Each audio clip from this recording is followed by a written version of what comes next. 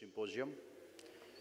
We are um, honored to have with us today our chief guest, Mr. Mohammad Najibur Rahman, the former Principal Secretary to the Honorable Prime Minister and the Chairman of the Bangladesh Capital Market Stabilization Fund. The distinguished keynote presenter, Dr. M. A. Baqui Khalily, the Professor and Dean Department of Business Administration, University of the Asia Pacific. Um, Mr. Muhammad Arfan Ali, President and Managing Director of Bank Asia, Mr. Nasiruddin Ahmed, the first Vice President of the Bangladesh Insurance Association and the Vice Chairman of the Meghna Life Insurance Company Limited, distinguished business leaders, friends from the print and electronic media, ladies and gentlemen. Once again, good afternoon to all of you. I would like to uh, welcome you all to the parallel session of Risk Financing Strategy of the National Symposium on Private Sector Participation and Leadership in Disaster Risk Management, which is organized by uh, Dhaka Chamber, ActionAid, World Vision, Bangladesh, European Union, and United Purpose, Bangladesh. We're indeed thankful to the chief guest and all the esteemed uh, panelists, despite their busy schedule for gracing the occasion.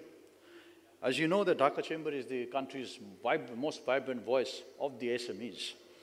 Uh, a family of 4,500 plus SMEs and um, diverse business members, which has been putting forward fact-based opinions and, uh, of course, prudent policy guidance uh, for um, improving the continuous uh, trade and investment development over the last six decades, addressing the needs of today's business and the economy of tomorrow.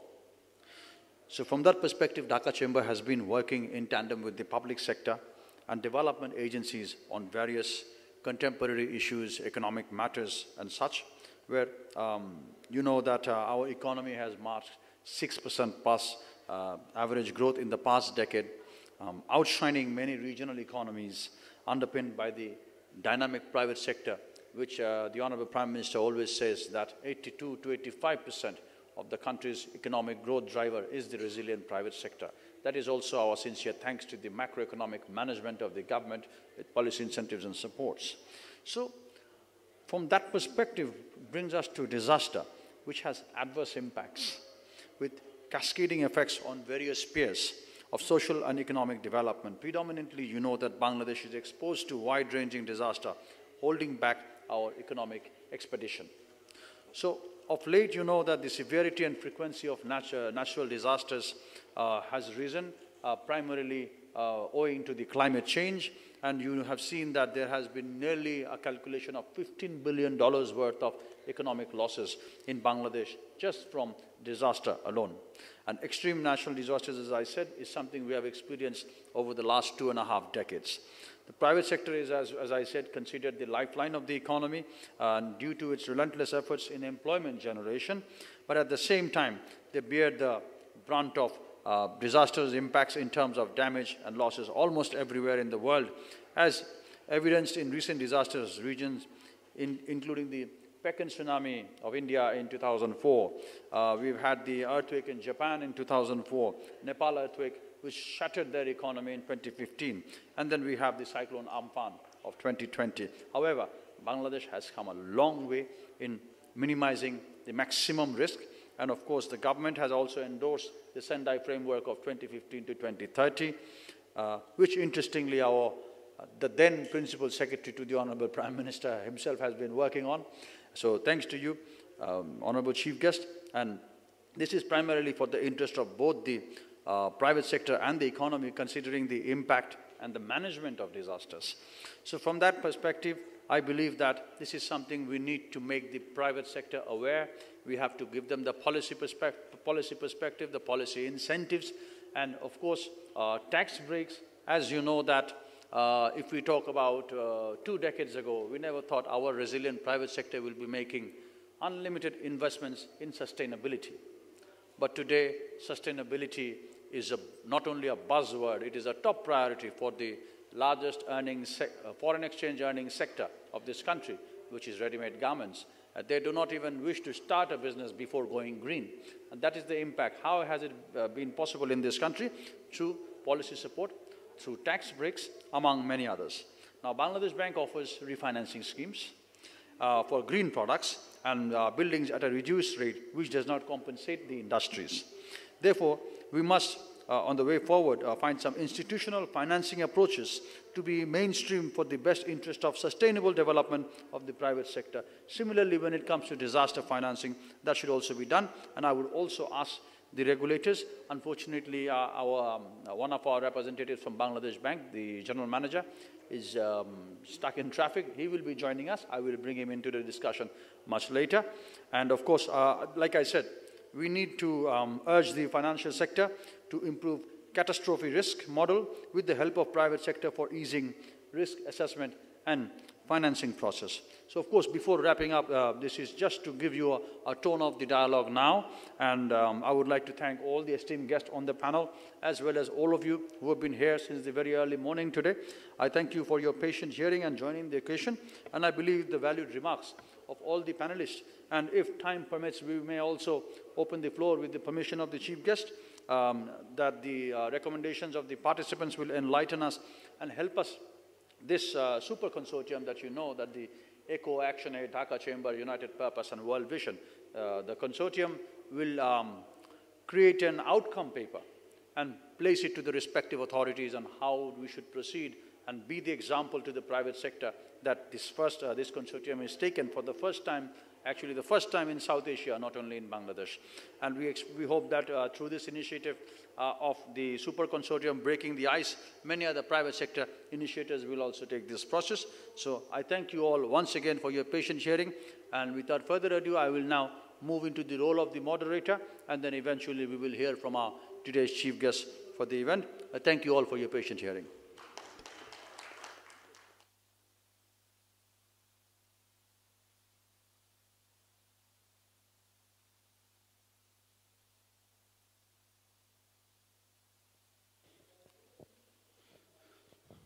Thank you. Um, so at this point of time, we will request the uh, distinguished professor, uh, Dr. M.A. Baqui Khalily, the professor and dean of the University of uh, Asia Pacific, to deliver his keynote address and to um, create a flow for the discussion of the today's session. Dr. M.A. Baqui Khalily, ladies and gentlemen.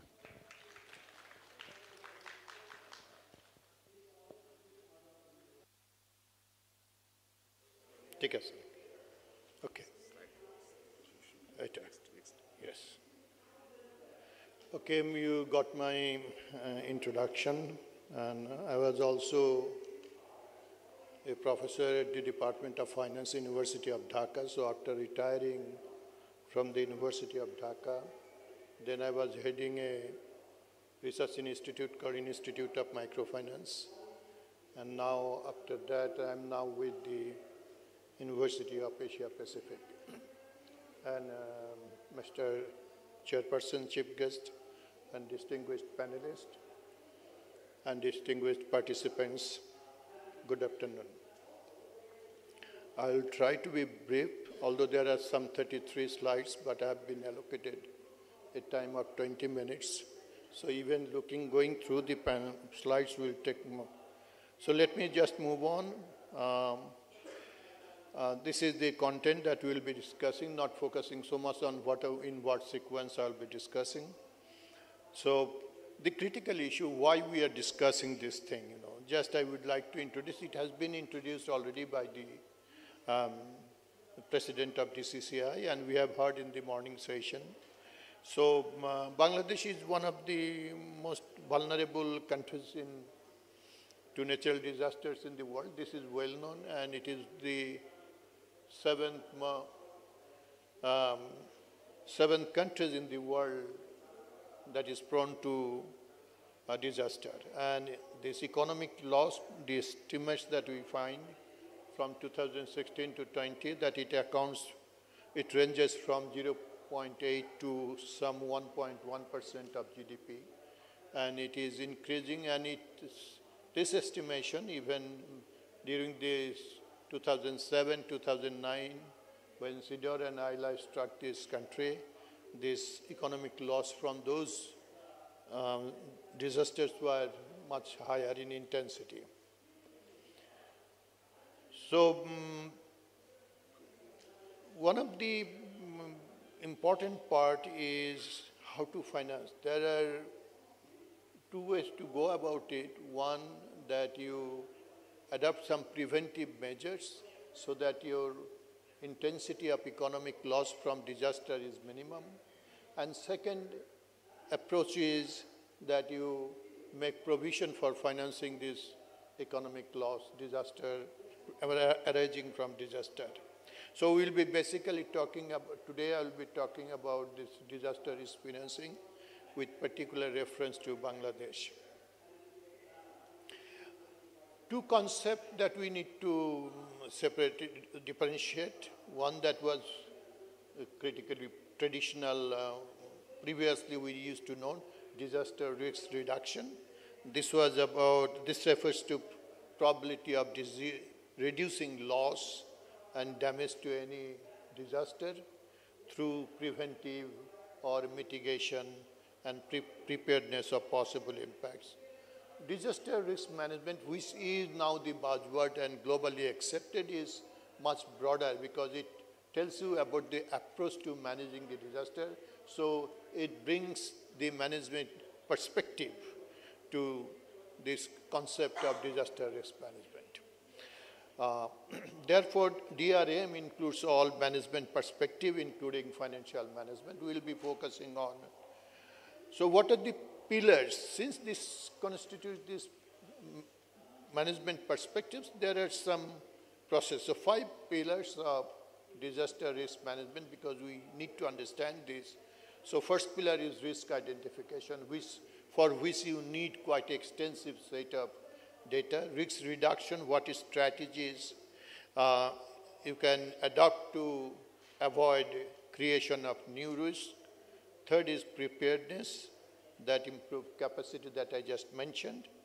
And then financial, fourth pillar is financial protection, that financial protection is first, it is resilience of the households and firms against disaster and uh, through financial protection. And finally, the last pillar that I mentioned, it is the post-disaster financing of loss and damages.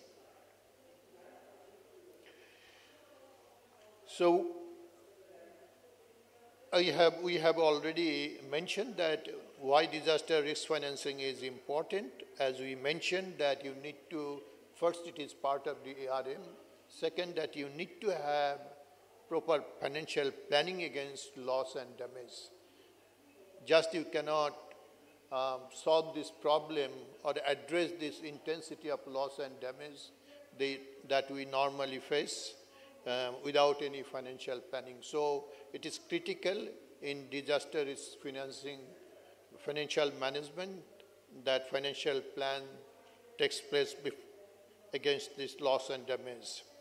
Secondly, disaster affects your livelihood and asset losses. It's both for the households and farms.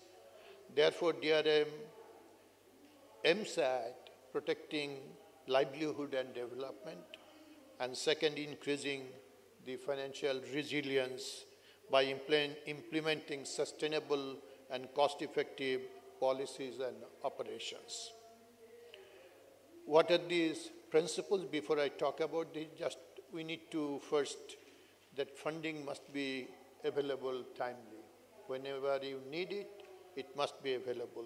Second thing, this is true given the intensity of loss and damages that causes, caused by disaster, no single instrument or intervention can appear to be sufficient. Source, third principle is sources of risk finance and distribution of fund are equal, equally important. So on the one hand, you need to mobilize resources, but on the other hand, you have to ensure that this fund is distributed to the beneficiaries, the affected, disaster-affected households and farms. Therefore, one, is, one important principle is access to information is important for sound financial decision that is that we have heard from the, the previous session, from the inaugural session.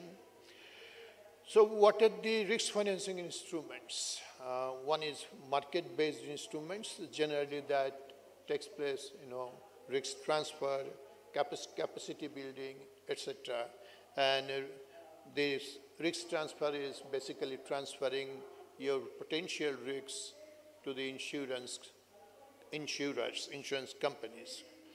And um, so that is one, and you must, one must develop the capability to cope with shock through improving access to finance and technology. Second type of instrument is contingency financing that after a shock that there must be liquidity, a financial instrument that will provide liquidity immediately after the shock. Third is budgetary instrument, which is common in our country and almost every, almost not every developing, developed countries that budgetary allocation is made for facing disaster consequences. Bangladesh exposure to shock, um, ADB in 2016 estimated economic loss of 10.8 billion US dollar over the period 2000-2013. 10.8 billion dollar. And Sidr alone in 2000, uh, Sidr alone contributed to 1.7 billion.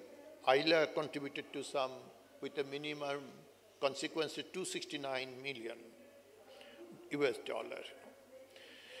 So with, over this time, government of Bangladesh um, has adopted strategy consequences of cyclone that we faced in 1970, that intensity of loss and damage to property and life, we cannot conceive of that in intensity today in 2020-22 because of the strategies adopted by the government, including the emergency shelter house and flow of information. And at the same time now, loss of livestock is also quite minimal because it now allows during the uh, cyclone, uh, the households are allowed to take their livestock to the uh, shelter houses.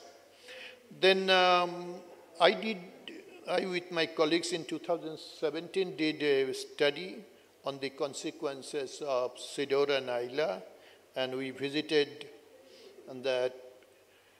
So I just mentioned that 10.8 US billion, billion dollar was economic loss during the period 2000-2013. How is it financed? Uh, the same study of ADB Ozaki 2016 you can see that basically funding for recovery and rehabilitation, humanitarian aid, and foreign aid for emergency. So from 2006 to 2010, during this two period, to during that period, as I mentioned, two major disasters took place in Bangladesh, Sidr and Aila, and that is why, particularly Sidr, that is why you find a very peak inflow of foreign aid for emergency responses.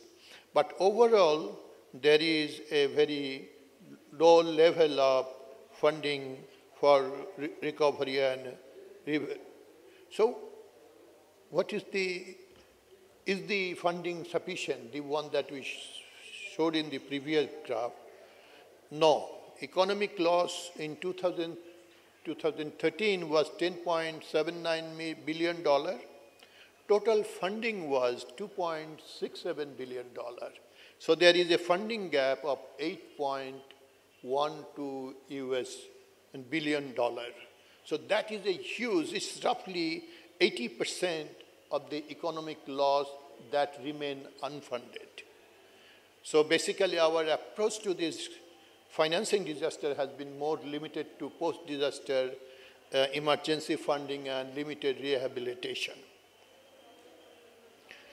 And the same evidence we found in uh, our study in 2017, in, that was a national level Uh, study, So, of the poor households, what we found that average loss was 30,000 taka for poor households, and including 15,000 loss for houses, property.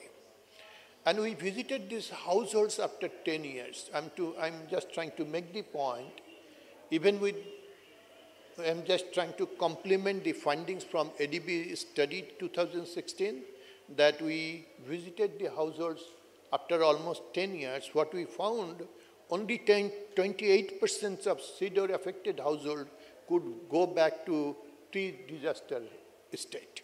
Only 28 and 15% could not recover at all at 10 years after Sidr. So that is, and the same thing with the uh, lesser in intensity in case of Aila, 37% could fully recover to the pre-disaster level and 23% could not do.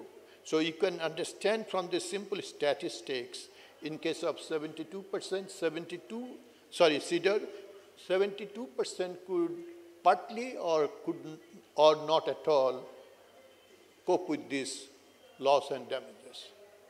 And in case of Sidr, it was also, uh, it was like 60%, 60, 62%. So that takes, tells me about the need for disaster financing, that how severe the situation is.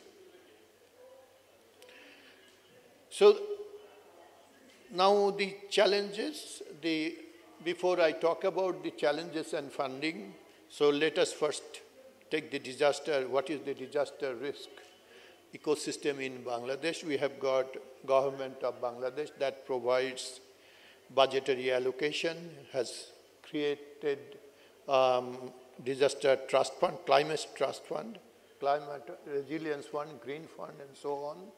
Um, that is the role of the government. Insurance companies, though limited in this case, but still that is a part of that and one of the important stakeholders and players in the disaster risk management in Bangladesh. Third is PKSF and microfinance institutions. Um, they are major players, particularly financing these poor households and small enterprises affected by, the, affected by disaster. And these institutions are not only uh, playing the, not only supporting in post-disaster, but also in pre-disaster. So that is they are, and the regulators is another, that is in IDRA, Bangladesh Bank and BSEC, Securities and Exchange Commissions, they also contribute to the process of formulating policies and binding the policies for the um, fourth banks. Banks, particularly uh, Bangladesh Bank, has been has formulated policy for banks to support sustainable and green finance to reduce effects of climate change. And uh, and uh, I know that these banks have been playing a critical role. And this financing sustainable and providing sustainable and green funds, it is basically pre-disaster resilience approach to potential loss and damages. I must, however, say here that our study in 2017 showed us that the poor households that had, that had access to microcredit or bank credit had the higher coping abilities. So they build more resilience. So that is, that is why access to finance appears to be very important strategy. Now, what are the uh, constraints? As I showed you, the evidence from ADB that there is, despite the efforts from the government of Bangladesh and other stakeholders, funding gap still exists. That is. Second thing, that transfer of risk is a major solution, one of the major solution, and that we find from the evidences from developed and other developing countries.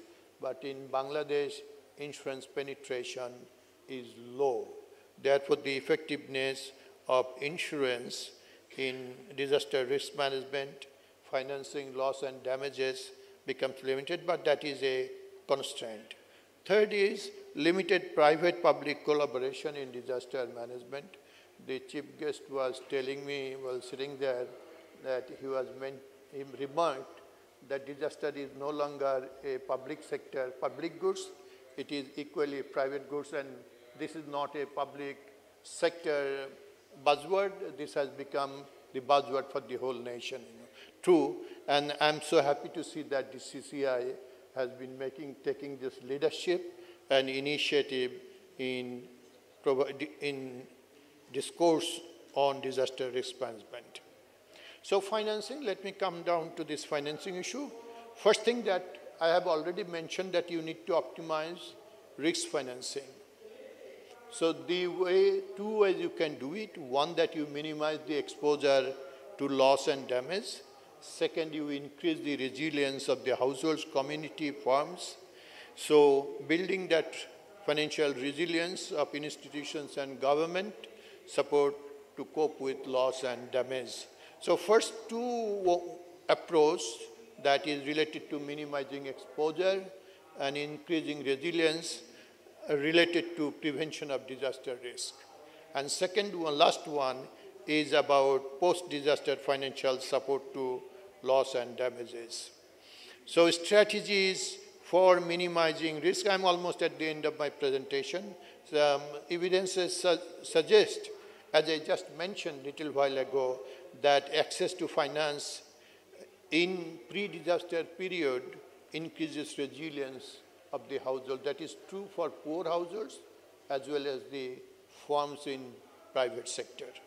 Second, evidence suggests, I'm talking about the evidences from developed and developing countries from the literature that we find, that improving awareness is required, awareness about the potential consequences of disaster is required. So that is important. Third, building the community infrastructure like economic institutions, roads, roads, highways, etc., reduces intensity of loss and damages. One example is shelter house in our country, very um, that reduces this. But important point that evidence suggests um, in Spain, I can mention that in Spain, disaster risk is insurance is compulsory. That is absolutely compulsory, but that is the kind of uh, strategy is required for a country like, but we have to figure out how best we can do it. But transfer of risk to different institutions like insurance companies reduces economic pressures or on affected households and firms. Then post-disaster financing strategies is quite simple, that you need to ensure flow of required fund for emergency aid and rehabilitation.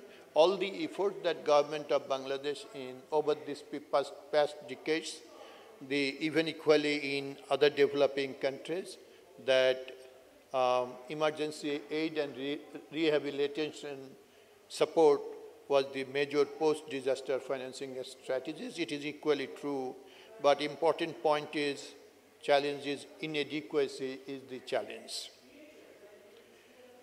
So best practices for diverse financial instruments, budgetary allocation and national fund, development of disaster insurance market, the one that we mentioned that it is more or less absent, but it is well developed in European countries, uh, even in Brazil.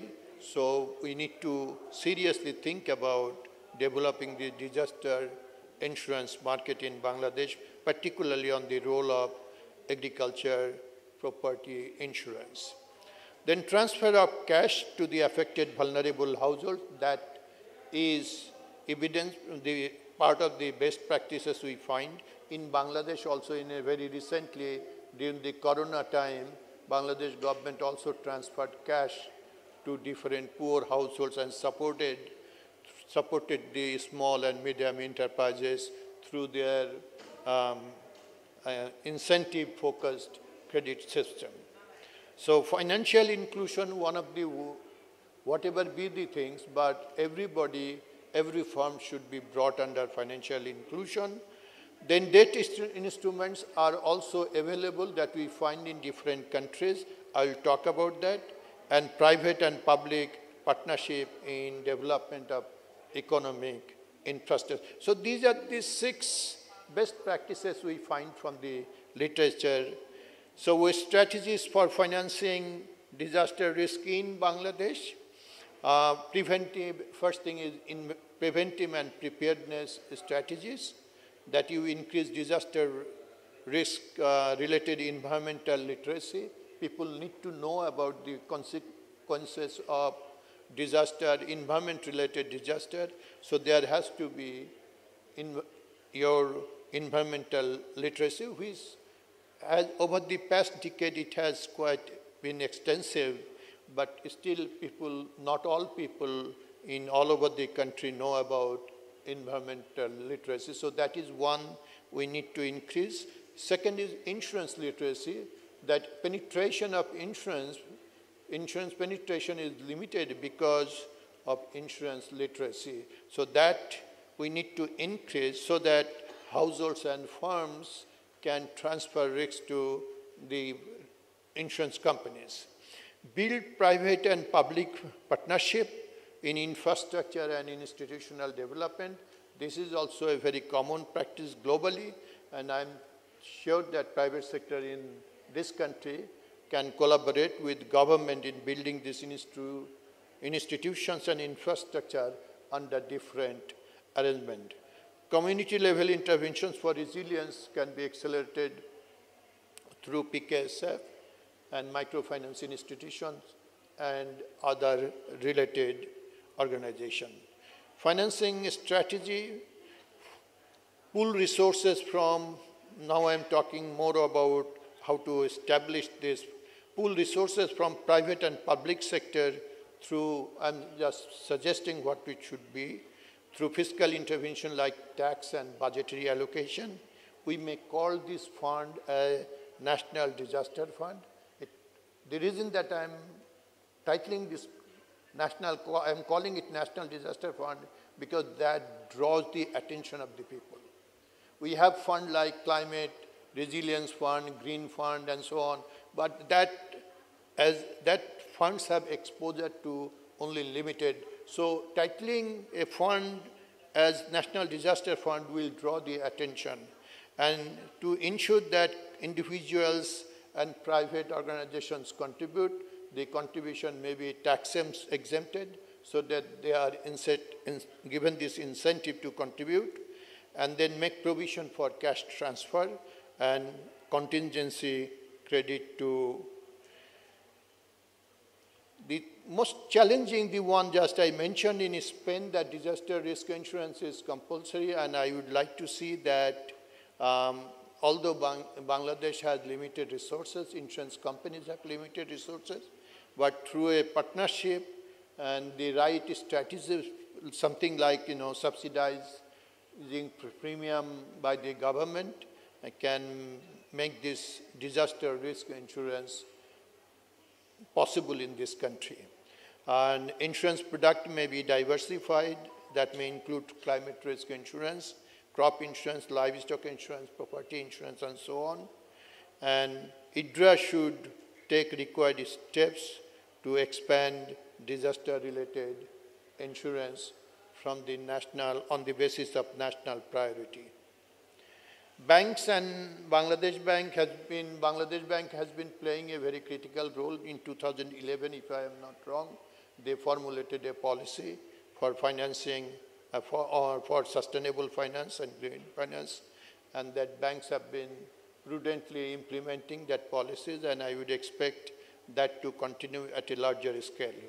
Uh, government should support MFIs to provide financial support. Uh, during this corona time, government provided fund to PKSF and um, uh, NGOs under stimulus package.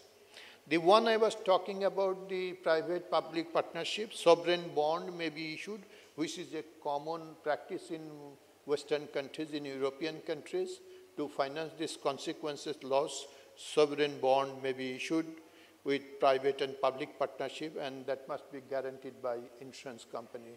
This is a possible, um, so a way forward, basically these strategies that uh, I have just mentioned, that, uh, that is what I see as way forward, you know. So what will be my um, last statement that disaster risk management finance need to be sorted out mostly through the market mechanism and private-public partnership. Thank you very much.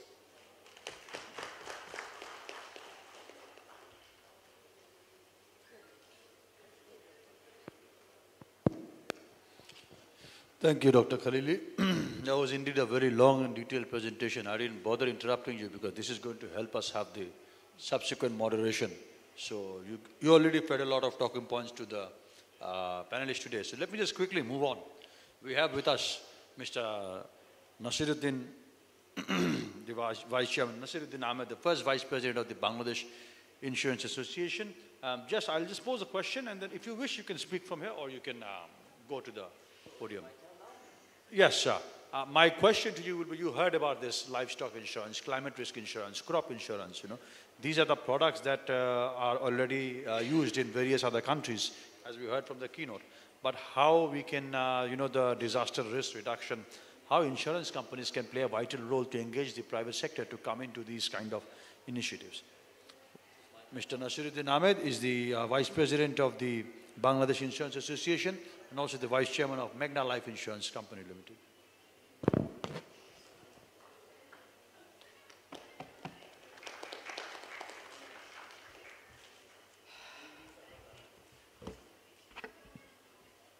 Honorable Chief Guest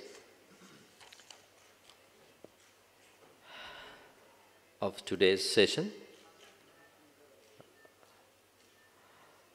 uh, MD Najibur Rahman, Chairman, Capital Market Stabilization Fund, and very successful uh, former NBR Chairman, uh, and our, our, my fellow uh, discussant with me, KM Millat, General Manager, Sustainable Finance Department, Bangladesh Bank.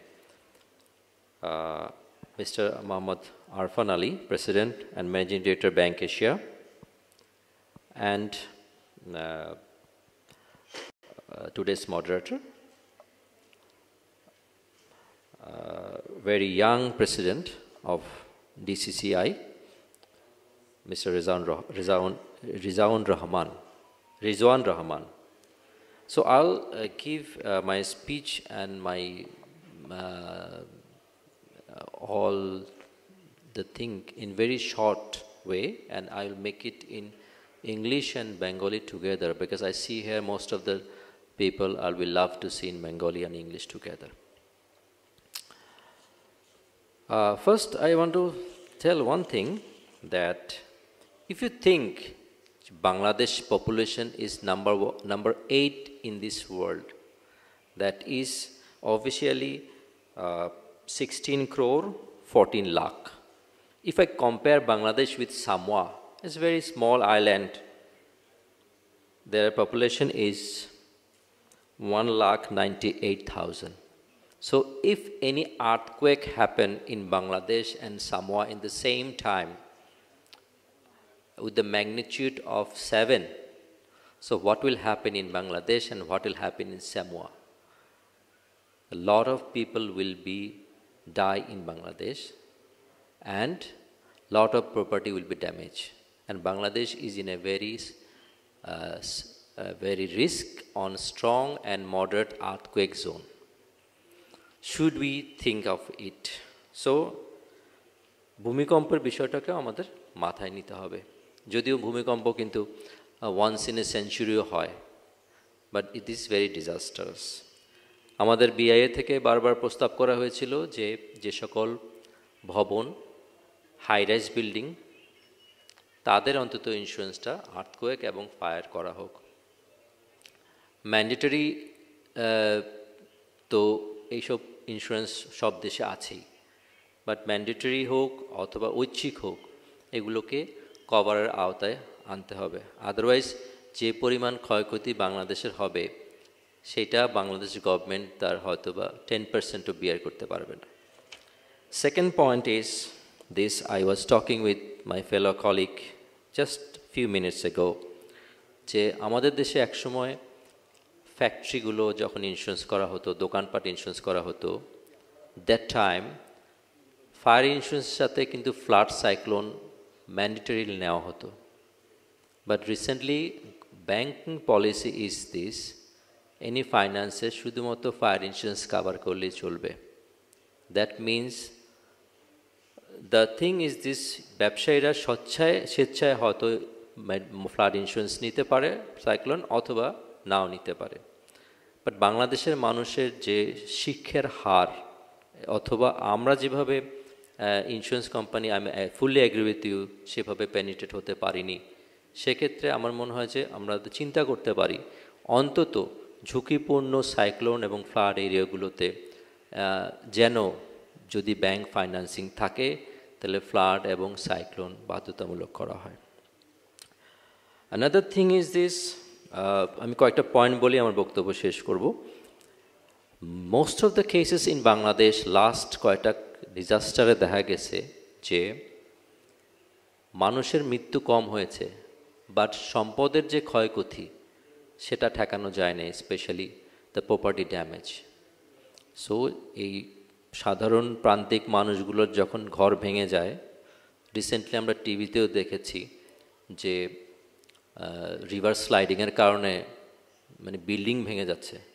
So that is not not that is not insured so my suggestion is this ওই those প্রপার্টিগুলোতে insurance কোম্পানিগুলো আমরা আরও এগিয়ে আসতে হবে awareness build up করতে হবে ম্যান্ডেটরি হোক ওর নাই হোক, সেগুলোকে ইন্স্যুরেন্সের আওতায় নিয়ে আসতে হবে। Agriculture insurance already we started সাধুমিয়া corporation সহ few companies in Bangladesh we already started এবং সাম এরিয়াতে এটার সুবিধা মানুষ কৃষকরা পাচ্ছে। But the difference is is in Bangladesh and পার্শ্ববর্তী দেশ ইন্ডিয়াতে যেটা হলো they have a separate agricultural insurance company in national level yearly premium income is seventy three million US dollar so that is profitable there but আমাদের এখানে যেহেতু আমরা লো স্কেলে করছি So it's very difficult to make profit. So we need government subsidy initially, but after some time, because insurance theory, sar bhalo আছেন bhalo বলতে পারবেন if you insure only Sonargaon hotel, the premium will be high. If you insure a five five-star hotel in Dhaka city, it will be much lower to all ten. So if you cannot increase the number of coverage, we cannot reduce the premium, we cannot reduce our losses. One example I want to say is very important for us. That is what happened in Asia 2011 in Thailand. That was the biggest loss we faced in this region. That was a huge flood loss that is equivalent to 18 billion US dollar. And the most of the the losses is paid by European insurance reinsurance companies. So if we take covers and reinsure with as a catastrophic insurance to foreign reinsurer, we can get easily out of this financial risk management issue. Uh, I will fully agree with Sir Bakibullah Sir, Baqui, Baqui Khalily Sir. I know him also before. Some areas I fully agree with you. Most of the areas and he it was a detailed presentation yesterday night. I see this.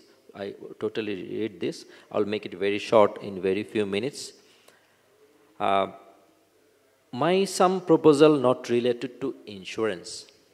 One is this uh, regarding today's we see uh, taken by very uh, very uh, amazing step by dcci this is the first emergency center, private sector in Southeast Asia. My suggestion is please, if possible, tag this center to our regulatory office, IDRA. Make a connection with us through IDRA so that our regulator can know what is happening here and also insurance company will know through IDRA what they should have to do. Another suggestion is this. It's very difficult one. Maybe is uh, maybe my my overthinking. Can we raise a fund for our future climate risk in private sector? But because what we see when any calamity happen, we go to the PM office and give checks. But we can we make a fund for private sector before the calamity happen? This is one thing is maybe I'm, I'm overthinking. Another thing is that is called all over the world is uh, also disaster, but we don't mention here. That is a big terrorist attack or any riot happen in a country because we are very close to uh, some, some areas in these issues. So we should also think if any big terrorist attack happen and riot happen in this region, what should we do? Insurance company has to go a long way. I fully agree with you. We need more climate related product, especially what happened. Recently, I'm telling you one example. Few insurance company develop a product for mango because mango is a good fruit for our country also sometimes we export so for mango we develop a product for insurance in india there's a insurance for potato for rubber and this way so we have to think different innovative way innovative ways so I am another thing I just not want to miss that is usually সাধারণত আমরা যখন দেখি যে কোনো উপকূলে সতর্কবার্তা হয় তখন যে নৌযানগুলো থাকে বা মাছ ধরার ট্রলারগুলো থাকে সেগুলো কিন্তু ইন্স্যুরেন্স করা থাকে না। তো আমাদেরকে ওদিকেও চিন্তা করতে হবে। কারণ হয়তো ওই মানুষটার জন্য ওই ওই ট্রলারটুকুই তার সম্বল। আমাদের দেশে পাটুরিয়াতে মানে এই বিয়ে থেকেও মানুষ ওই সরি গাড়ি বোধহয় ফেরি থেকে পড়েও ইন্স্যুরেন্স করা ছিল না। সো সেখানে ক্ষতিগ্রস্ত হয়েছে।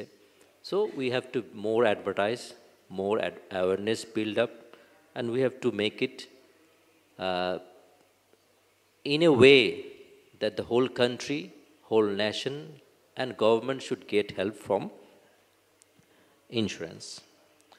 Uh, I think I have touched few points. It's a very small session.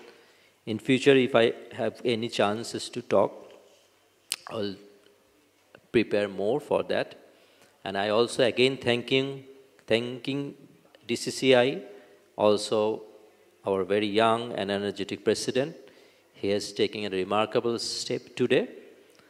He has, I don't know what the future of this step, but I know this step is a big step today. Thank you.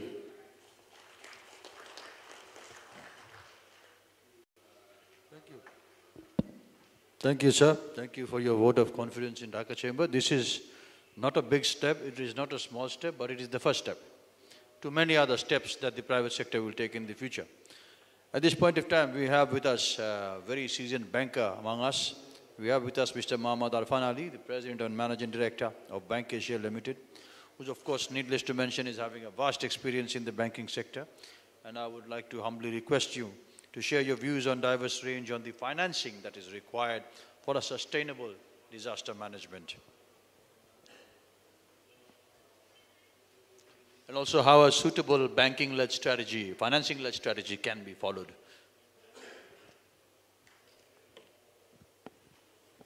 Thank you, dear moderator, Mr. Rizwan Rahman. Assalamu alaikum.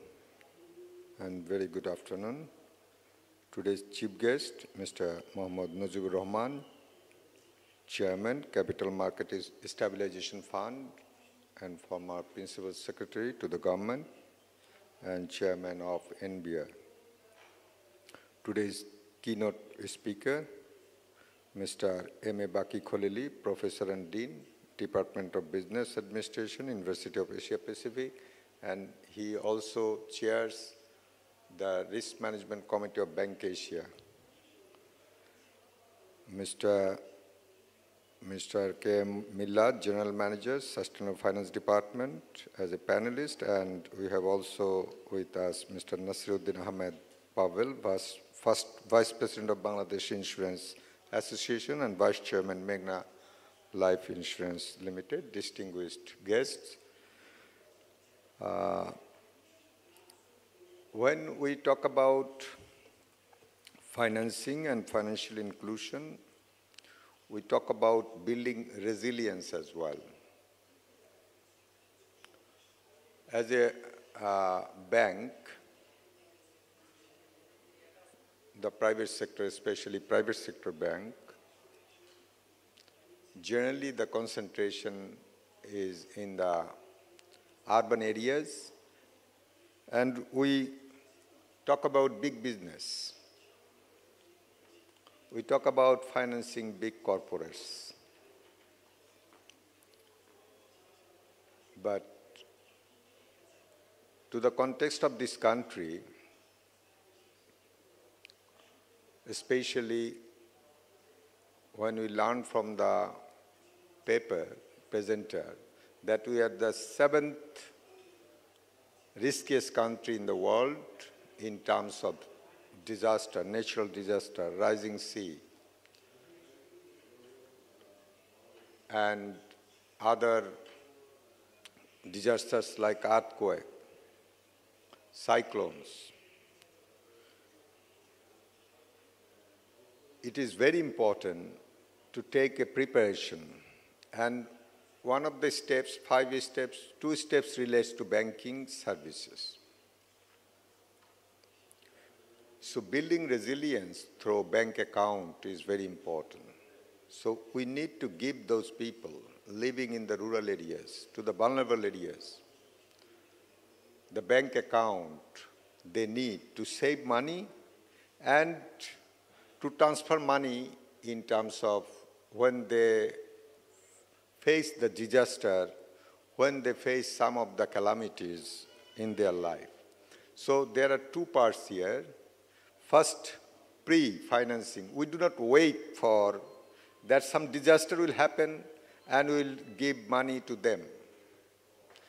It should be a precondition that we give the bank account to them so they can manage their finance themselves, they can build resilience by themselves, as well as the banks, financial institution, government can help them to get advanced in financial literacy, financial management. Then second step comes about the financial transfer and a special credit transfer when it is required after the disaster happens. In Bangladesh, as we know, 50% of the population still do not have bank account. And in the rural areas, it is 70%.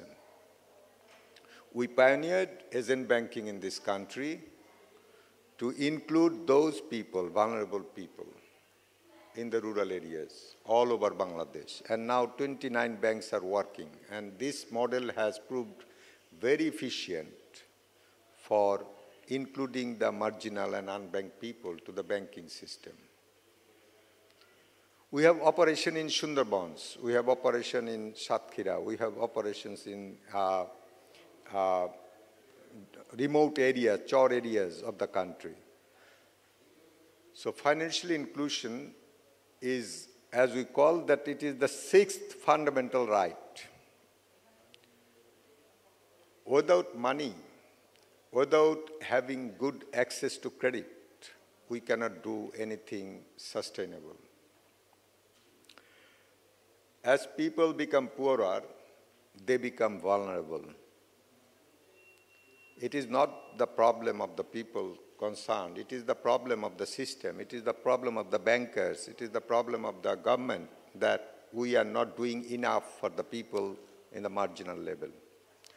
So it is our duty to go ahead with the agenda of financial inclusion as government is also uh, government also advancing with the fin national financial inclusion strategy where by 2026 every citizen of the country will have a bank account. That is very important development happening here at this moment. We have also some experience with uh, disaster funding. We worked with German Red Crescent Society in the Hatia Deep, where we transferred money to the people who were affected by the cyclones. We have experience with UNDP. We transferred money to the marginal people during COVID. We have experience with Rohingya people. We have transferred money to the homeless people who migrated from Burma. So the private sector engagement, uh, especially the banks, it is possible to make it more effective and let all the banks come together for this rescue. Private-public partnership is very important. I always mention as the high ex-government official and now also in a very important job is there. The mistrust and distrust between the government and private sector is the major thing that hinders the progress and building partnership we as a private operator always feel that we cannot earn enough trust from the government that we can also do something better. We can do many things that can resolve the issue of the society. In today's world, no business will survive until it explains that the very existence of this business, this business is to solve some problem to do some betterment of the society. The market will force us to do that. The government needs to create that environment that the equal level playing field is there and the institutions in the private level can play the role as well. So in banking service, we are happy that 61 banks are working together for the development of this country. And we believe this competitive market will force the banks to be, behave properly and rightly. Otherwise, they cannot survive in this competitive market. And as there, there are some proposals from one panel discussion that we can create disaster management fund.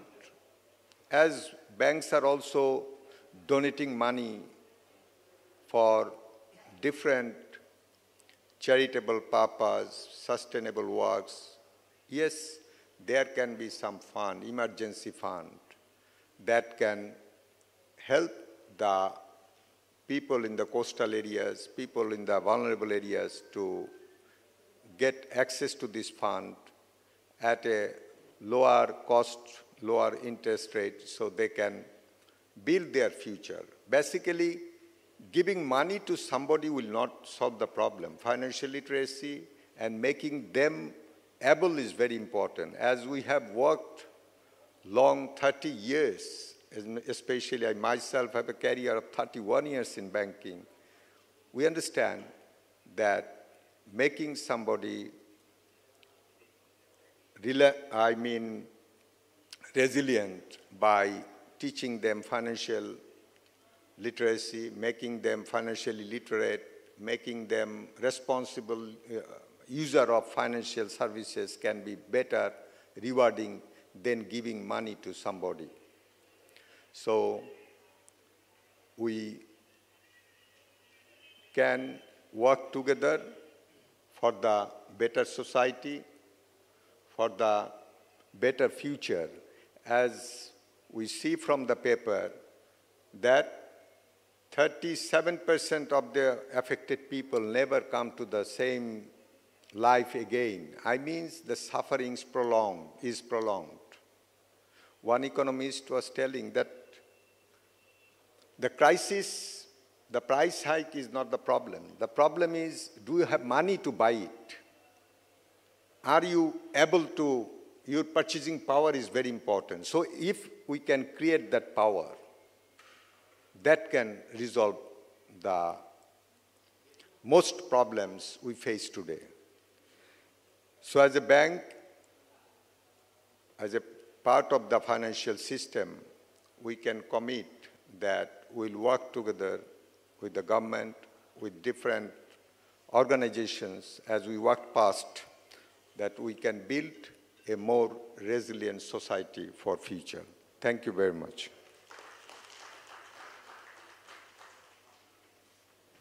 Thank you. Um, I truly believe that uh, private sector friendly uh, strategic financing policies will definitely urge the private sector to come forward. Uh, you rightly said uh, when um, um, supporting financially will not only uh, solve the problems of disaster, because money doesn't stop a disaster. It is rather the uh, disaster readiness of the private sector as well as the private, public sector which we have seen during our uh, Rana Plaza tragedy. We had a lot of resources, a lot of money, but not enough uh, uh, resources to actually stop the situation from getting worse. Uh, we did not take the proper initiatives. We have seen this during this, uh, the fire in the uh, Bashundhara shopping mall, where our fire brigade was not able to um, go above the 12th story. But the other day, we did a test run from the same private sector emergency operations center in front of the minister where we brought in these, uh, the electromechanic ladders, which can go up to 24 or 26 stories. And 20 more of these machines have been brought by the government. So again, government is taking the initiative at the same time, the private sector, which is, I repeatedly say, 85% contributor to the national, uh, national growth, they should also take their initiatives. So uh, thank you, Mr. Afan Ali, for your uh, valuable suggestions. And just for the information of our guests and of course our chief guest and the respective panelists, that every time we have a discussion like this, we actually eventually form an outcome report. We place it to the chief guest as well as the respective, uh, respective uh, policymakers. All the persons concerned, whether it is the Ministry of Finance, whether it is the Ministry of uh, uh, any other ministry of Ministry of Commerce or even the Ministry of Disaster Management and Relief. So at this point, uh, we would like to hear from the private sector. I'm very happy actually because I was slightly worried that our uh, General Manager of the Sustainable Finance Department of Bangladesh Bank, he wasn't able to join us because he had a very important meeting at the Bangladesh Bank. But however, he made his effort. He, uh, he managed to show up in time right before his speech. So thank you, sir, for joining us despite your busy schedule. Now, my, I have only solely one question to you. It's just a how can Bangladesh Bank work in institutionalizing this uh, financing in disaster risk? You know, at the end of the day, private sector will do its part, but how is Bangladesh Bank going to institutionalize it? And the only reason we say it is because for further private sector involvement in these kind of disaster risk management. Ladies and gentlemen, Mr. K.M. Milad, General Manager, Bangladesh Bank. Thank, uh, thank you, uh, Honorable Moderator, Chair, today's uh, honorable chief guest of this uh, event, the keynote speaker, panel discussants, and in front, my colleagues, my friends, and uh, ladies and gentlemen, a very good afternoon to you all.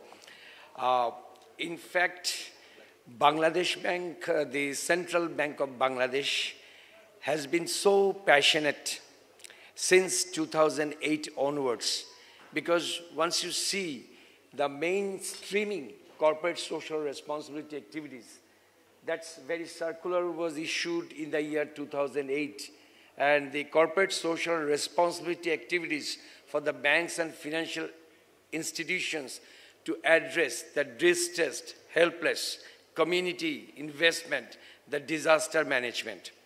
And uh, the moderator, the chair, he was telling, talking about the Rana Plaza disaster.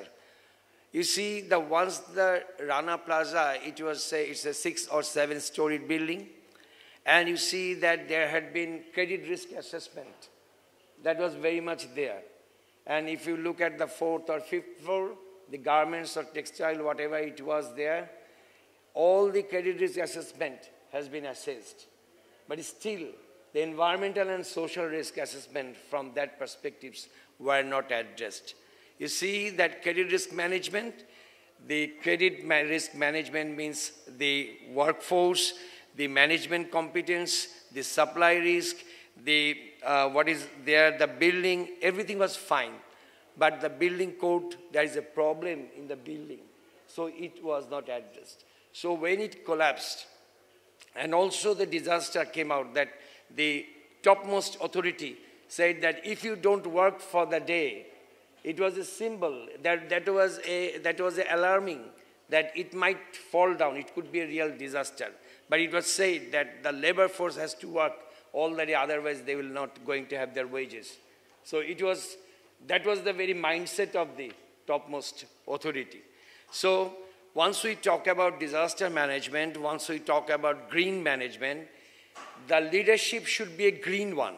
It should be green governance. The leadership is very important. Once we see our Honorable Prime Minister, he is green-minded, inclination is there. Our governor, Honorable Governor, Minister of Finance. But once we see uh, that the green governance of the banking industry, all the banks are not going in the same pace. Where the board management are very much inclined, their middle, middle layer and lower management are very comfortable to run with, to fight with, to go with the green banking policy and the disaster management. Bangladesh Bank, uh, since 2011, a policy guidelines for green banking, it was uh, issued for the banks and financial institutions. Then thereafter, environmental risk management, it came out on 30th January 2011. Then a very comprehensive environmental and social risk management that was issued in the year December 2017 and all the banks and financial institutions are they have the mandatory agenda to go with that. What is the benefit of that? That is the asset that is the portfolio disbursement is not that much important. Yes the banks are ready to uh, increase their assets but most importantly, whether those assets are quality assets or not, or not over the period of time. You see, the loans, the industry average of the asset quality of banks and financial institutions is around 8 to 9% or like that. But once you see the assets, those went through environmental and social due diligence. I'm telling, talking about the six years statistics, it is below 1% the non-performing loan status is below 1%. When the loans went through environmental and social, I'm telling, talking about the last six years. Then if we talk about the green products, projects, initiatives, loans, those went through ESDD. The percentage is very negligible. It is 0.2%.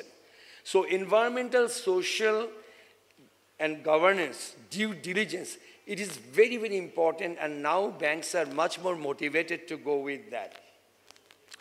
Actually, when we talk about access to finance, we see that what is the major problem in the banks and financial institutions to avail the finance? Access to finance is a major problem.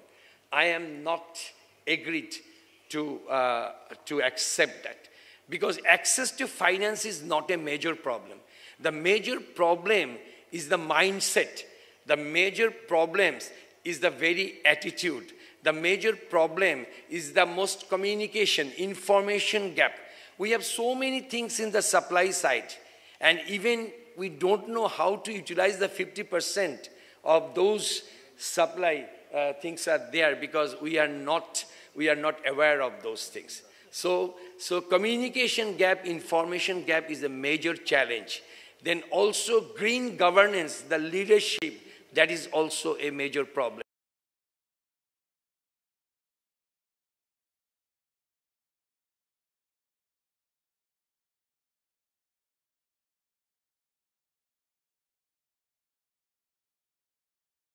like Ministry of Finance, Ministry of Industry, then Ministry of Environment, Forest and Climate Change, then Bangladesh Bank, Bangladesh Security Exchange Commission, IDRA.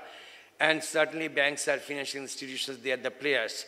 So everybody has to be under the same umbrella to contribute in such a manner that it should be a all-round cricket, it should be a total football approach. In that case, there will be no communication information gap and the access to finance will then never be realized as a major problem. That is, uh, that is one. Then in sort of uh, communication, there should be MIS. That should be a dedicated database for the potential clients, for the, uh, for the manufacturers, respective manufacturers, uh, su uh, supply, suppliers, service providers, and then banks and financial institutions will be among them to bridging the supply and demand side uh, uh, blending. There should be an investment of the blended investment, like it should be the, it should be the public-private investment. When you talk about the sustainable finance policy, that has been already uh, said that in December 2020, we have a sustainable finance policy where sustainable taxonomy, green taxonomy, green taxonomy is much more detailed in the Bangladesh Bank Sustainable Finance Policy than the European Union they have issued. It's much more detailed and strengthened. Then when you see the Sustainable Finance Policy, it is very much unique on the globe. So what I'm telling about that because it is they are the greening the polluting industries. Not only the greening the mine, but greening the polluting industries. Once you see the, uh, the uh, traditional fixed chimney kilns, those are now stopped forcibly. But you see the tunnel kiln, most environment friendly. You see the hybrid Hoffman kiln, less environment friendly. But once you see the policy of the two institutions, like the Department of Environment under the uh, Forest Environment Climate Change, they are saying that no burned bricks will move on after 2025. So that is the DOE uh, Progyapan. But once we see the Minister of Industry, under the same country, the, another ministry said that Minister of Industry has declared tunnel kiln and hybrid Hoffman kiln as industry. So what will bank do? Bank will finance for 8 to 10 years. So it will go up to 2030. And tunnel kiln is burn big, but most environment friendly. The, all the fumes are being absorbed within the very system. So once it is there, it is the bankable project and it will run up to 2030. But when the policy is there that no burn brick will run on uh, after 2025, again the Minister of Industry say that these are the two products belong to industry. Then what will banks do? What will the investors do? So these are the policy intervention. These policy need to be green. So green policy intervention for the sustainability of the green projects, projects initiatives as many as there are 68 green products projects initiatives belong to 11 green categories that you can find in the sustainable finance policy. And also there is talk about green bond. When you talk about green bond for the capital market infrastructure development, then the Bangladesh Securities Exchange Commission, Bangladesh Bank, other ministries, all the ministries, they need to be under same umbrella. So what Bangladesh Bank is thinking, there is the advisory committee that is for the policy, green finance taxonomy policy for green bond. It's being under preparation, sir. So it is uh, under the chair, and hopefully within the July there will be a green bond, a green finance taxonomy for green bond for the banks and financial institutions. At least to some extent, uh, to some extent, banks and financial institutions of the Bangladesh Security Exchange Commission. So what I will tell about the communication gap, information gap is the major problem. Green governance there should be adequate green governance. The capacity building should be A to Z for all the concerned personalities, and also there should be cooperation, collaboration among all the concerned states that is badly required. When we talk about finance, then we would say that finance, this is not a sufficient condition. Is it a sustainable finance? Still, we can say that is a sufficient condition made up then if you say that it is green finance, still it's not a sufficient condition. If we talk about inclusive green finance, yes, it is there, but the asset inclusion and the NFIs, I would say that the people under this umbrella, they are very much vulnerable. So when you talk about the seashore people, we see, we should see that there is a sandwich panel. There is a low-cost funding arrangement of Bangladesh Bank where the, where the sandwich panels are there. So those vulnerable peoples can rid of, of their disaster if they can go with these sandwich panels. If we talk about green building, it is for the corporates. It is for the rich people. If we talk about the green industry, to some extent, it is being addressed for the uh, uh, inclusive green finance. But when we talk about the green housing, it's a 30-story building, sir. And in all the buildings, there could be 20, 30 units.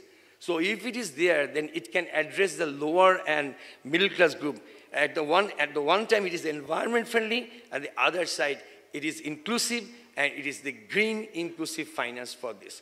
So there is many more talk and it will take the, kill the very time and we are, we are not in such a forum that I can talk about next seven days. So it's not possible. So, so I, I, I would stop here. I, I wish all the very best. I see that the mindset is important and the collaborative and cooperative coordination is much more required. And certainly, we are, we are the victim of circumstances. So, both nationally and internationally, coordination, cooperation is badly required. So, we should live not only for ourselves, we should live for others. So, go green, live green, and live for others. Thank you very much for giving me a very, very patient hearing. Thank you all. Thank you. Thank you, Mr. K. Milad. In fact, it was uh, almost like another keynote to understand the uh, strategies behind uh, Bangladesh Bank trying to promote policy-friendly uh, support. But as you rightly mentioned, that there is a lot of uh, intervention required from the government itself, like the Minister of Industries and so on. So definitely, before we reach out to them uh, regarding this outcome paper that I just mentioned to you, we will show you a draft of our proposals, and just to make sure that um, both the Bangladesh Bank's voice as well as the private sector's requirements are heard. So before moving on to our chief guest, I would like to um, open the floor briefly with the permission of the chair, uh, with the chief guest. Um, if আপনাদের কারো যদি কোনো ধরনের প্রশ্ন থাকে আমি আসলে আজকে একটা কথা স্বীকার করি, আমি আজকে দেড় বছর ধরে এই দায়িত্ব পালন করার পরে আজকে এই মিটিংয়ে বসে প্রতিটা জিনিসে আমি নতুন করে শিখলাম। মানে এটা কিন্তু আসলে বাস্তবতা, আমাদের প্রাইভেট সেক্টরে কিন্তু অনেক অ্যাওয়ারনেস নাই এই ব্যাপারে, এটা সত্য কথা। এটা মানে লজ্জার কিছু নয় এটা অস্বীকার করার কিছু নয় আমি আজকে অনেক কিছু শিখলাম, জানলাম এখানে আমি নিজেই শিখলাম। আমি মডারেটার আমি নিজেই জানি না, অনেক কিছু। আজকে প্রেজেন্টেশন থেকে এক ধরনের কথা আসতো আমাদের ফাইন্যান্সিয়াল সেক্টর থেকে আরেক ধরনের কথা আসতো আমাদের রেগুলেটর যে সেন্ট্রাল ব্যাংক যে তারা আমাদেরকে কিছু ধরনের কিছু রেকমেন্ডেশন দিলেন। So my I would like to open the floor আপনাদের কারও যদি কোনো ধরনের কিছু জানার কিছু থাকে, আপনারা অবশ্যই you can raise your hands and mic will reach you আপনাদের কারও যদি বা কোনো এখানে যদি কোনো প্রশ্ন আপনাদের থাকে is there anybody on the floor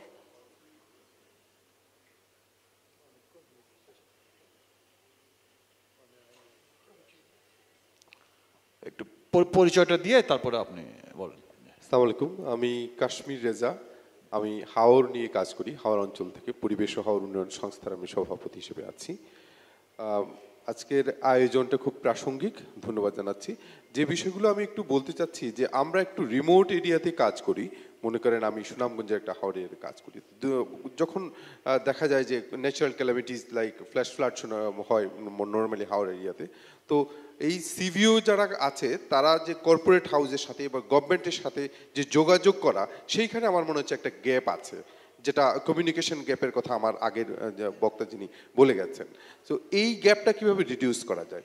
আরেকটা জিনিস আমি দেখি যে আমরা যে সময় এই ডিজাস্টারগুলো নিয়ে কথা বলি, তখন ওই যে হাওড়ের যে ডিজাস্টার সেটা কেমন যেন আমার কাছে মনে হয়েছে যে প্রপারলি অ্যাড্রেস হয় না।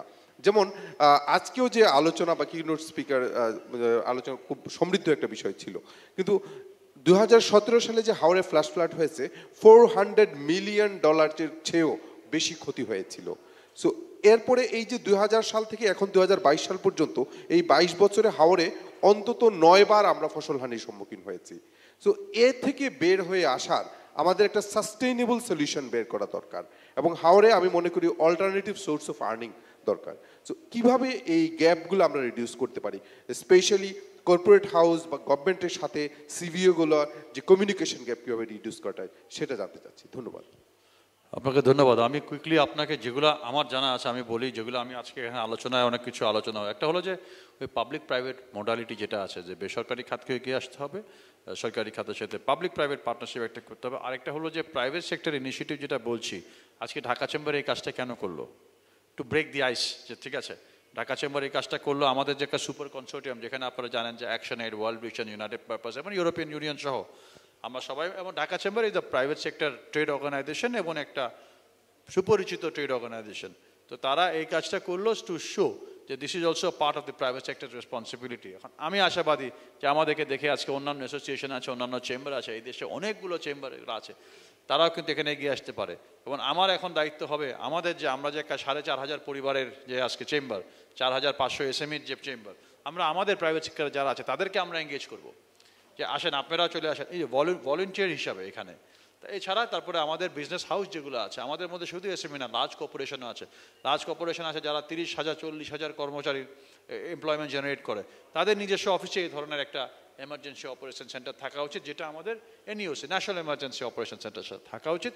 আর এছাড়া কিছু প্রশ্ন আপনি করেছেন আমি দেখেছি আজকে এখানে আমাদের প্রধান অতিথি একটা স্পিচ নিয়ে এসছেন কিন্তু ওইগুলো সব কেটে উনি কিন্তু আপনাদের সবার কথা নোট করছে এখানে। তার মানে উনি আজকে স্পিচটা পড়বেন না উনি আপনাদেরকে সরাসরি অ্যাড্রেস করবেন এখানে। আমি ইজ দ্যার এনিবডি আর কোনো কি প্রশ্ন? জি বলেন।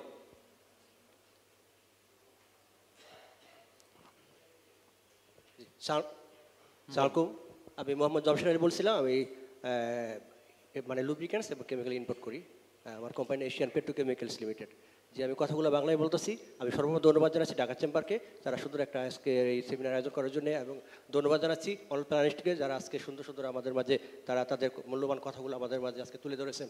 তো আমি একটু কথা বলতে চাই, যে দুর্যোগ ব্যবস্থাপনা, যেমন দেখা যাচ্ছে যে ফায়ার প্লাস আপনাদের ভূমিকম্প হয়, যেটা ভূমিকম্প হয় এবং যেখানে বাড়িঘরে আগুন লাগে এবং একজন বলল যে রানা প্লাজা যে যে কারণে হয়েছে। তো আমি বল, আমি সর্বপ্রথম বলব যে ওই আপনার দেখা যাচ্ছে যে এই কলকাতাতেই আমি বলি, আমাদের পাশের দেশ ইন্ডিয়া কলকাতাতে কিন্তু অনেক অনেক পুরানো বিল্ডিং, অনেক অনেক আপনারা গেলে দেখতে পাবেন অনেক অনেক পুরানো বিল্ডিং কিন্তু তারা করে রাখছে। এগুলো কিন্তু এখন ভাঙতে পারে নাই। দেখা যাচ্ছে যে কেন ভাঙে না, সেটা হয়তো আপনারা জানেন যে ওইখানে রাস্তার কারণে। দেখা যাচ্ছে এখন একটা বিল্ডিং পাঁচতলা ওইখানে হয়ে গেছে অলরেডি আরও বিশ বছর আগের করা, অনেক পুরোনো বিল্ডিং, দেখা যাচ্ছে পঞ্চাশ বছর আগের করা, কিন্তু এগুলো ভাঙতেছে না কেন জানেন? এটা বাংলে কিন্তু দেখা যাচ্ছে এটা একতলা বিল্ডিং হয়ে যাবে, কারণ তার এখন পাঁচতলা বিল্ডিং আছে, এটা বাংলে একতলা হয়ে যাবে কারোটা দুইতলা হয়ে যাবে। এর কারণ হলো ওইখানে দেখা যাচ্ছে যে একটা আইন আছে। একটা আইন বলতে যার বাড়ির সামনে রাস্তা ছয় ফিট, সে একতলা বিল্ডিং করতে পারবে। যার বাড়ির সামনে রাস্তা দশ ফিট, সে দোতলা করতে পারবে এবং বিশ ফিটের উপরে সে তিনতলা করতে পারবে। তো এটার কারণে কিন্তু তারা মানে এই আইনটা কিন্তু তাদের এখানে কলকাতায় অনেক ভালো হবে, এটা কিন্তু তারা মেনে চলে। কিন্তু আমাদের বাংলাদেশে এই আইনগুলো কিন্তু আমরা মানতেছি না। এই না মানার কারণে কিন্তু এই যে আগুন লাগলে, ভূমিকম্প হলে আমরা কিন্তু সাথে সাথে যেতে যেতে পারি না। এবং এটা কিন্তু আমরা, এই মানে ক্ষতি, আমাদের যে ক্ষতিটা যদি আমরা তাড়াতাড়ি যেতে পারতাম, আমাদের কিন্তু ক্ষতিটা অনেক কম হতো। কিন্তু এর কারণে আমরা না যেতে পার, পারার কারণে কিন্তু আমাদের অনেক ক্ষতিগ্রস্ত আমরা হচ্ছি। তো এই এই ব্যাপারে যদি আপনারা কোনো সুনির্দিষ্ট কোনো ইয়া দিবেন যে, আমাদের দেশে আইন আছে, এই আইনটা যদি আমরা মানতে পারি, তাহলে এটা মনে হয় আমাদের জন্য আরও অনেক বেটার পজিশন হবে। থ্যাংক ইউ ধন্যবাদ। আসসালামু আলাইকুম। আপনাকে অসংখ্য ধন্যবাদ। আপনি বেশ কয়েকটা গুরুত্বপূর্ণ কথা বলেছেন। আমি এই পর্যায়ে এই- এই এইদিকে সামনের সারিতে চলে আসেন। আমি আর দুটো প্রশ্ন নিয়ে আমি শেষ করে দিব। আমাদের আপনি জানেন যে আজকে সমাপনী অনুষ্ঠান আছে বিকেল চারটার সময়। বল মাইকটা অন করে দাও। হ্যালো। জি আসসালামু আলাইকুম। ডিসিসিআই একটা বড় পরিবার। সো আমরা যারা এন্টারপ্রেনার হিসেবে ডিসিসিআইয়ের সাথে আছি, আমাদের পরিবারটাই অনেক বড়। আর এখানে প্রাইভেট সেক্টরের যারা এন্টারপ্রেনারশিপ এবং যারা একদম প্রডিউসার লেভেলে আছে বা যারা ইন্ডাস্ট্রি লেভেলে আছে, তাদের অনেক ধরনের ডিজাস্টার ম্যানেজমেন্ট করতে হয়। তো প্রাইভেট সেক্টরে এই ডিজাস্টার ম্যানেজমেন্টে তো আমাদের চেম্বার অ্যাসোসিয়েশনগুলো তো অটোমেটিক এগিয়ে আসবে। কিন্তু চেম্বারগুলোর পাশাপাশি যদি এ ধরনের আন্টারপ্রেনারদেরকে কী ধরনের ডিজাস্টার ম্যানেজমেন্টকে ফ্যাসিলিটি দেয়া যায়, এটার জন্য যদি হচ্ছে প্রাইম মিনিস্টার অফিসের সাথে, আমাদের চেম্বারের সাথে একটা লিঙ্ক করে দেওয়া যায় এবং আমরা পরবর্তীতে যে ধরনের ডিজাস্টার ফেস করছে, বিভিন্ন ধরনের আন্টারপ্রেনার আপনারা জানেন হাওড়ে এবং সিলেটে এখন কিন্তু বন্যা হচ্ছে। সো ওখানে যারা এগ্রিকালচার বিজনেসের সাথে আছে, তারা নানান ধরনের প্রবলেম ফেস করছে। তো এখন কিন্তু রিসার্চ বেসড আমাদের বেশ কিছু কাজ করা দরকার। যে কোথায়, কখন, কোন ধরনের ডিজাস্টারে আমাদের কি ধরনের ফ্যাসিলিটি দিতে হবে এবং সেই ফ্যাসিলিটিগুলো কীভাবে হবে? এবং যারা ইন্স্যুরেন্সের সাথে কাজ করছেন, সেই ইন্স্যুরেন্সের কিন্তু আমাদের অ্যাগ্রো বেস বিজনেস বা যারা আমাদের ফার্মার লেভেলে আছে, তাদের কিন্তু একেবারেই নলেজ নেই। তো সেই নলেজ বেসটা বাড়ানোর জন্য ইন্স্যুরেন্স অ্যাসোসিয়েশনকেও আরও বেশি এগিয়ে আসতে হবে ডিজাস্টার ম্যানেজমেন্টের জন্য। আর আমার লাস্ট পয়েন্ট হচ্ছে ফার্মার এবং ফিশারিজ নিয়ে যারা কাজ করছে, যারা সমুদ্রে অনেক কষ্ট করে বিভিন্ন সময় মাছ ধরে আমাদেরকে এই বিজনেসের সাথে ইনভলভ করছে, তো আমরা দেখছি যে আমরা তো অলরেডি ব্লু ইকোনমি নিয়ে কাজ করছি, কিন্তু এখানে ডিজাস্টার প্রায় সময় হয়ে থাকে সমুদ্রে। আমরা দেখি যে বিভিন্ন সময় কিন্তু ঝড়ের কবলে পড়ে। তো তাদের কাছে কীভাবে, আগে থেকে আমরা কোন উপায়ে আসলে এই ডিজাস্টার রোধ করার জন্য তাদেরকে ইনফরমেশন দিতে পারি? বা স্যাটেলাইটের মাধ্যমে বা তাদেরকে, তাদের হাতে কোনো প্রযুক্তি দিয়ে দিতে পারি কিনা? এরকম আমরা আগে থেকেই রিসার্চ বেস কিছু করতে পারি কিনা? আমার মনে হয় যে আমাদের ইনোভেটিভ সেন্টার আছে, যেখানে আমরা ঢাকা চেম্বার থেকে ইনোভেশন নিয়ে কাজ করছি। পাশাপাশি আমরা আমাদের যে এসএমই পরিবার যারা আছে, যারা এই ইন্ডাস্ট্রিগুলোর সাথে যুক্ত আছে তাদের জন্য আমার মনে হয় যে এখন প্রাইভেট সেক্টর এবং পাবলিক সেক্টর মিলে তো আমরা গভর্নমেন্ট থেকেও কাজ করছি প্রাইভেট সেক্টরও কাজ করছি। আমাদের এখন মনে হয় সময় এসছে যে সরাসরি আসলে আন্টারপ্রেনারদের নিডটা কি? ডিজাস্টার তাদের কি ধরনের হয় এবং তাদেরকে কি uh, well known, uh, he's a very civil engineer, come first এবং ইঞ্জিনিয়ারিং ফার্মগুলোর একটু এগিয়ে আসা উচিত। Thank you we have the guest of honor of our next session, the closing session. Interestingly, he is the uh, chair of the task force of uh, disaster and climate risk reduction of the UNESCAP.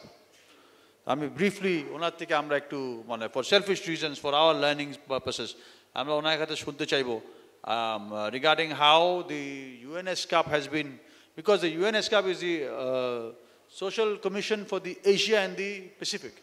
So APEC region, এগুলো নিয়ে কী কী কাজ করছেন এবং how Bangladesh can B created as an example in the future for disaster risk reduction. এ ব্যাপারে আমরা একটু briefly শুনবো from the task force chair, Mr.